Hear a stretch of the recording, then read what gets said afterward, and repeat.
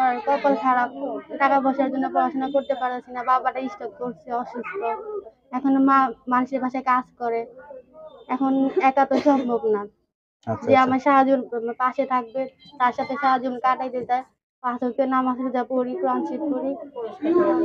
সুপ্রিয় দর্শক আসসালামু আলাইকুম। দেশ ও প্রবাসে যে যেখানে আছেন আপনাদের প্রত্যেককে শুভেচ্ছা জানিয়ে শুরু করছি আজকের প্রতিবেদন। আজ আমরা কথা বলব এক অসহায় হিজাব পরিত অবস্থায় আসছে একটি মেয়ে। আসলে জানার চেষ্টা করি কি বলতে চায় বা কি হয়েছে তার জীবনে চলুন শুনি। আপু আসসালামু আলাইকুম। আপু আপনার নাম কি? আমার নাম নীলা। নীলা আপু কেমন আছেন আপনি? এটা আলহামদুলিল্লাহ ভালো। আপনি কেমন আছেন? আমি তো ভালো আছি। তা কি হয়েছে? আপনার জীবনে আসলে কি বলতে চান? বাসায় আর্থিক সমস্যা এই জন্য। আচ্ছা আচ্ছা কয় ভাই বোন আপনারা? এক ভাই এক বোন। এক ভাই এক বোন? আমি আচ্ছা। বড় আর ভাইয়া ছোট। মা বাবা কি করে? বাবা অসুস্থ আর আম্মু এই যে মানুষের বাসায় কাজ করে। বাবা অসুস্থ আম্মু মানুষের বাসায় কাজ করে? হ্যাঁ। আচ্ছা আচ্ছা। তা এই যে ভিডিওর সামনে কে আসতে বলছে আপনাকে? আম্মু। আপনার আম্মু আসতে বলছে? মানে কীরকম লাগতেছে এখন আপনার কাছে? এই তো মোটামুটি। মোটামুটি। এটা কি না আসলে হতো না? না আসি তো কষ্ট পড়ে আসছি। বাবা অসুস্থ ডিস্টার্ব করছে পড়াশোনা করতে পারতেছি না টাকা কোন ক্লাস পর্যন্ত পড়ছিলেন? এসএসসি পর্যন্ত পড়াশোনা করছি আর পড়াশোনা করতে পারলাম আর করতে পারেন নাই। পড়ালেখা শিখে কি হওয়ার ইচ্ছা ছিল? চাকরি করার ইচ্ছা ছিল। চাকরি করার ইচ্ছা ছিল? হ্যাঁ। আচ্ছা আচ্ছা। তা কেমন ছিলেন পড়ালেখায়?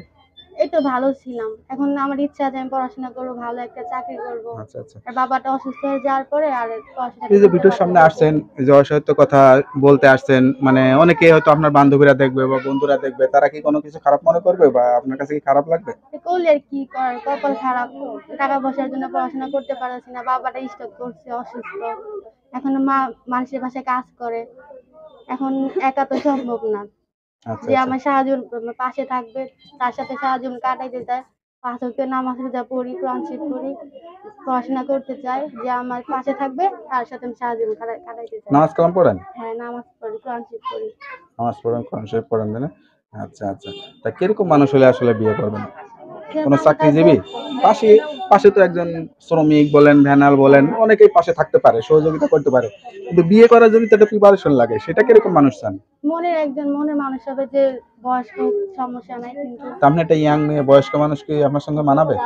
থাক সমস্যা নাই মানা কেন মানাবে না? আপনার বান্ধবীরা বলবে কিরে তুই এরকম বুড়া বিয়ে টের বিয়ে করলি কে? এরকম তো বলবে না তখন কষ্ট লাগবে না? না লাগবে।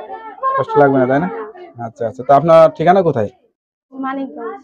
নানিগঞ্জ। কীভাবে যোগাযোগ করবে আপনার সঙ্গে? এই যে ফোন নাম্বার নাম্বারটা খোলা থাকে তো? হ্যাঁ। যাই হোক, নাম্বারটা খোলা রাখবেন আর চেষ্টা করুন পাঁচ ওয়াক্ত নামাজ কালাম পড়ার।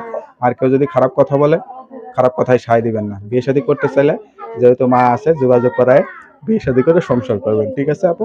তা ভালো থাকেন দোয়া করে। আসসালামু আলাইকুম।